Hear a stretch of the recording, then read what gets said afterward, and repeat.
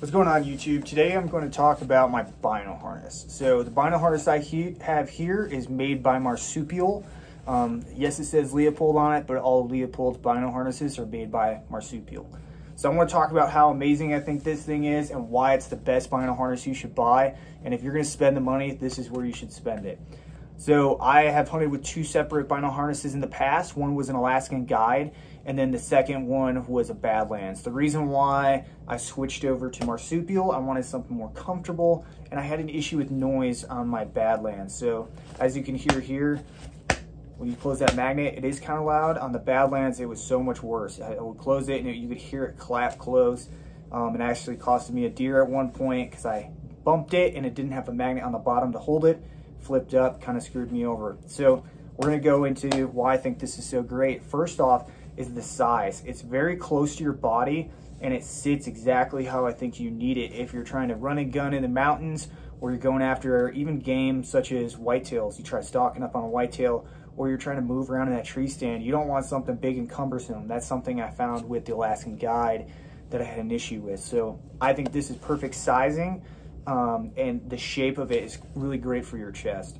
So let's get into some of these features. So the front, you have a zipper pocket with, I really like how big the zipper actually is on this because you have gloves on, whatever you got normally on, um, something in your hands. I like how big this zipper is to grab onto. Now the fabric is stretch, stretchy. Now it's really nice if you have, I just put chapstick in here right now, but normally I'll have an elk call in here and a couple diaphragms, it's nice to be able to push it in there, close it, and this keeps everything nice and dry and looking really good. So on the sides, so each side you have these little pouches. Now absolutely perfect for a wind checker. It's actually reinforced with this strap, or if you decided not to put anything on that pouch, this is actually made for where you can put on attachments such as rangefinders, what have you. So I really like it because with my wind checker in there, this kind of supports the wind checker a little bit better. So really like that. On this side, same thing. I have an UltraView button in there right now. Very easy to get out if I needed it, but handheld release, if you want to have it on your chest, it fits in there great. Now on the back of the bino harness, you have this little elastic pouch. Now it, they got this pretty tight, this elastic, which I really like because I put my hunting license in here, hunter safety card, slide it down there, and I know that sucker's not sliding out. It, it's on there, and it's gonna stay in there. Now, also, the buckles that they made. The buckles are fantastic. Because of how large they are, I always know that they're gonna stay there. They're very well made. Um, on my Badlands, I had an issue with one of them breaking, and I had to try to find one, couldn't, and ended up just switching to this guy. So Really like these buckles, very big. The locking mechanism, you're not gonna have this tether sliding in and out for no reason. It's gonna stay on exactly where it is. Now, moving along, the straps, they're about two and a half inches thick, which I think is the perfect size. If you get too big of a strap, what you're gonna have when you have a pack on is it's gonna push down on your shoulders, it's gonna hurt. I think this is great. Now, added feature is at the back, they have this, it's about three and a half, four inches across little pad that sits in the middle of your back and it just kind of perfectly centers it in the middle of your back so you don't have to really worry about a giant pad. So my Badlands had a pad about this big and it would sit right in the middle of my pack and just rub right into my back as I would walk. So I think this is perfect. Something small, something where it's just gonna hold the weight right, great. Now, and they also made these straps come off to the sides instead of coming out the bottom. What I think that benefits is when it's on you, right here in the corners where your straps are actually gonna come, if it's out the sides, it, kind of locks everything down into your shoulders. If it goes down, your whole harness is gonna wanna droop forward on your chest. It's not gonna stay up high or stay where you want it to. It's gonna continually droop down and it's gonna look like you have a low sagging bra at some point. It's gonna be all messed up. So I think this is exactly where you need it. They have the little added loop for you guys that live in states where you gotta have your license clipped onto the back of uh, you at all times. It's great for that. Obviously, made in the United States.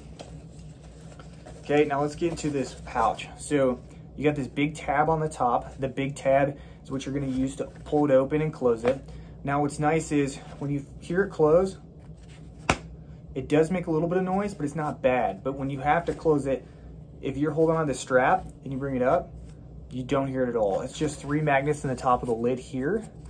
And then when it opens all the way, there's three magnets on the bottom and it'll hold that open, that lid. And you can shake it, you can move it, that ain't coming out.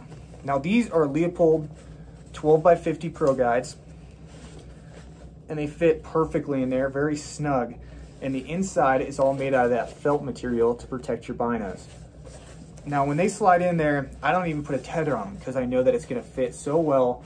I don't have to worry about them. I'll walk around in the woods like this if I need to, pull my binos out with this little open cut here. Anytime I need to, just pull them in and out. Um, and then when it gets kind of stormy out or if I'm gonna be moving for a little ways, just close it up. So I really like that concept. Really like how it sits.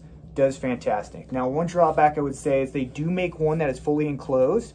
This one is not. I actually like this one. I don't end up in a lot of dusty environments riding on a four-wheeler for long periods of time where it's going to push up a lot of dust into it. Um, and for snow, rain, this does more than enough. Uh, if you were worried about that, you live in like Arizona, New Mexico, uh, Utah, in some places, I would okay, maybe get the fully enclosed one.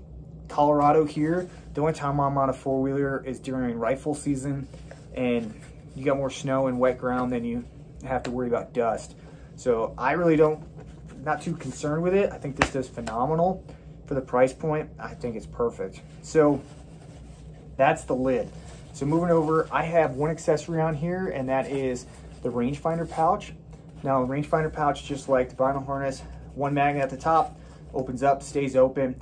I like that because when it's on my chest, I can just grab that rangefinder. It's on your hand that you're probably going to use the rangefinder on anyways. So you can hold the bow with the other hand, pull it out. Now they do make a cord from them that attaches. I just spent 15 cents and got some paracord, just whooped it up and I like it because I got it just enough where I can pull this all the way up to my face, look at it and then put it in and I don't have so much cordage just hanging around. So if you can see, I only have very little. So when this is actually closed, I don't have to worry about catching it on something, it connecting, really like little easy fix. And what I really like about the rangefinder pouch is because it connects right through this back loop here, instead of putting it on the side, I just put it right next to it. Works out great. So if you're in the market for a new bino harness, go with uh, Marsupial and you will not be disappointed. Thanks, guys.